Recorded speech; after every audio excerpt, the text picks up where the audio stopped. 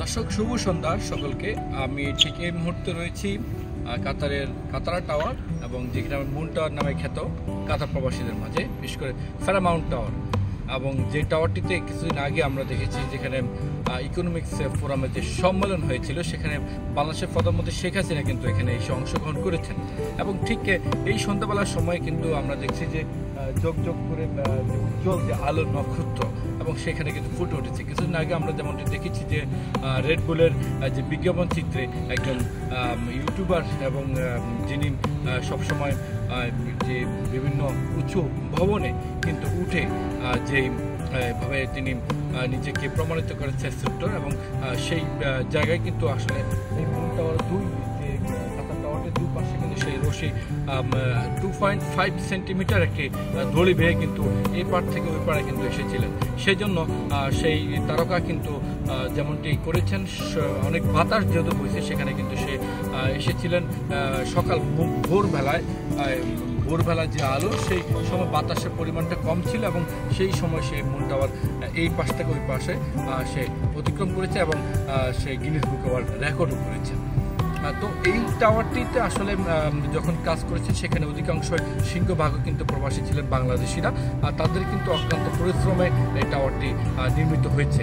এবং এই টাওয়ারে এখানে দেখার জন্য বেশি আশেপাশে যদি একটু দেখাই যেদিকে যে ভিউগুলো রয়েছে খুবই চমৎকার এবং ন্যাচারাল ভিউ রয়েছে এবং সেখানে আসার জন্য কিন্তু নানান ধরনের প্রবাসীরা কিন্তু এখানে আসে। বিশ্বে, বিশ্বের বিভিন্ন দেশের প্রান্ত থেকে টুরিস্টরা ছুটে আসছেন এই কাতারা টাওয়ারটি দেখার জন্য। এবং এই মুহূর্তে আমার সাথে একজন কাতার প্রবাসী বিশিষ্ট ব্যবসায়ী রয়েছেন যিনি টুরিস্ট টুরিস্ট খুব বলা যায় বেলাল মিয়াজি আমরা বেলাল মিয়াজির সাথে একটু কথা বলতে চাই। তিনি আমাদের মাঝে আসবেন যে মাঝে মধ্যে মধ্যরাত্র আসেন সন্ধ্যাবেলা আসেন। ঠিক আমি সন্ধ্যাবেলা যদি কথাটা বলি আর যে এখন এসেছেন কেমন লাগছে ফিলিংসটা নিয়ে আমাদের সাথে থ্যাংক ইউ ধন্যবাদ আকাশ। এই মুহূর্তে আমি যে জায়গায় অবস্থান করছি আসলে রাতের যে ভিউটা একটা অসাধারণ। নিজের কাছে অনেক ভালো লাগতেছে এই সময় এখানে এসে। রাতের এই যে আলোতে, রাতের যে যে আলোতে আলোতে আসলে যে নিজের ফিলিংসটা একটা অসাধারণ। আমি ধন্যবাদ জানাই। মরুর বুকে কাতারের মধ্যে এই ধরনের একটা সৌন্দর্য এবং এই ধরনের স্থাপনা যে কাতার সরকার নির্মাণ করেছেন এবং সেখানে টুরিস্ট আসছেন সারা বিশ্ব থেকে আপনিও সম্প্রতি ইউএসএ থেকে ঘুরে এসেছেন এবং আমেরিকার কালচার আপনার কাছে ভালো লেগেছে। তো এর মধ্যে যে এই এই- জিনিসটা দেখার জন্য কাতারা টাওয়ার দেখার জন্য সকলে আসছে এই অনুভূতি ব্যক্ত করবেন?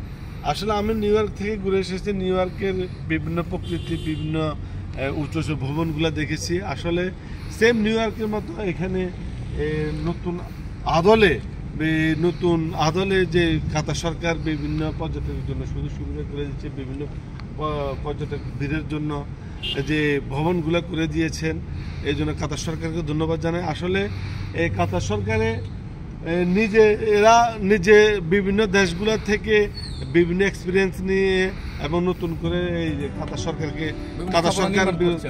বিভিন্ন স্থাপনা বলতে চাচ্ছি যে দিনের আলোতে কিন্তু কাতারা টাওয়ারটি একরকম থাকে। রাতে আধারে কিন্তু অন্যরকম একটা সাজসজ্জ পরিণত হয়। সে বিষয়টি কেমন লাগে? অনেক অসাধারণ অনেক ভালো লাগে। অনুভূতিটা আসলে মুখে ভাষা এবং প্রকাশ করার মতো না। অনেক অসাধারণ লাগে অনেক সুন্দর।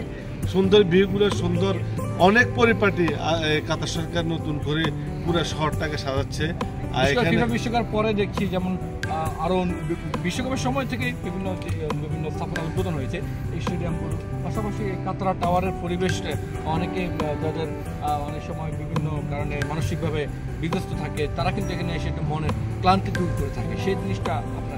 রাইট এক্স্যাক্টলি একটা যে সে এই কারণে তো আমি আমিও এই জন্য এসেছি রাত্রে।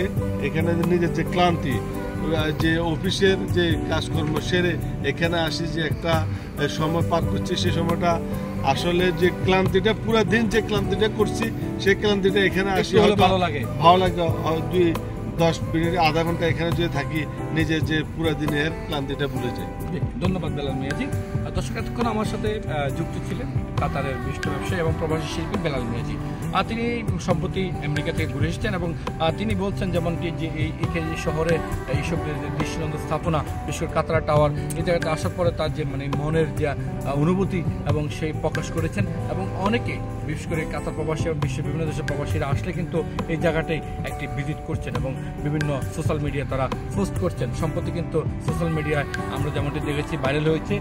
পা- এই এই টাওয়ারটির এই প্রান্ত থেকে ওই প্রান্তে উঁচুতে ভবনে এক প্রান্ত থেকে আরেক প্রান্তে গিয়ে সে টু পয়েন্ট ফাইভ মিটার রশিতে কিন্তু সে প্রমাণ করেছেন যদি বলতে হয়, আসলে কাতারকে এখন কিন্তু প্রবাসীরা যেভাবে নিচ্ছেন যেমন বাংলাদেশি প্রবাসী বলি, পাকিস্তান ইন্ডিয়া নেপাল সহ যারা রয়েছেন যারা প্রবাসী সবাই আসলে কাতারকে দ্বিতীয় ঘর মনে করেন এবং এখানকার আইন কানুনকে শ্রদ্ধা করেন। বিশেষ করে কাতার আমিরের প্রতি তাদের সবাই রেসপেক্ট রয়েছে এবং এই ধরনের দৃষ্টান্ত স্থাপনা দেখে প্রবাসীরা কিন্তু পুলকিত হচ্ছেন, আনন্দিত হচ্ছেন এবং বিভিন্ন সময় তারা আসছে। বিশেষ করে ছুটির দিনগুলোতে এখানে উপচে পড়া ভিড় লক্ষ্য করা যায়। তো দর্শক, আমার কাছে এমন এই ছিল তথ্য।